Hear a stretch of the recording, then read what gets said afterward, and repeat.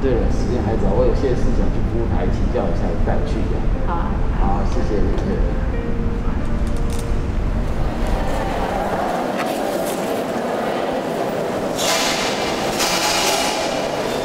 北北您好。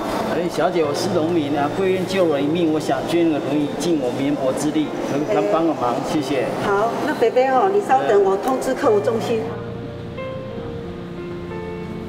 北北好。哎，你们好。菲菲就麻烦你了。好的，没问题。哎，副院长好，主任好。你好，你好，一切都顺利吗？哎，一切都很 OK。啊，对了，有一位大概六十几岁的农家伯伯哈，他想要洽询那个办理那个如你见证的程序。哦，真的这么好？啊，我已经引导他到客服中心去了。哦，好好好。柯副院长，这个事情我知道。是这个总品哦，前一阵子哈，在我们医院做这个心肌梗塞的心椎管的手术，是多离险境。哦哦，他为了感恩，所以助赠我们的黄秘书哈，是五万块钱的红包。最后对黄医师记者，对啊，我们医生就这么廉洁哈。是，这后来这个荣子北北哦，写封感谢信寄到我们正方室。哦哦。那我们正方室哦，经过双方面的查证属实以后，我们哦就签报给我们的院长，在公安场合是公开表扬。哦，那我们过去看一下。好，OK，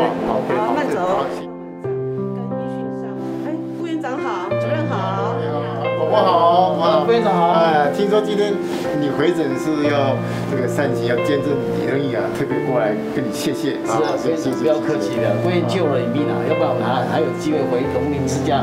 啊，这是我们应该要做的，这个是我们所有捐赠的话，大概都是公开透明的啊，那都会在公安网上面这个啊来做征信，所以请也请你放心，好不好？那我就放心了，谢谢，谢谢。还有呢，呃，这边也特别提醒的，这个宝宝如果回去。哈，这个近期还是要回来。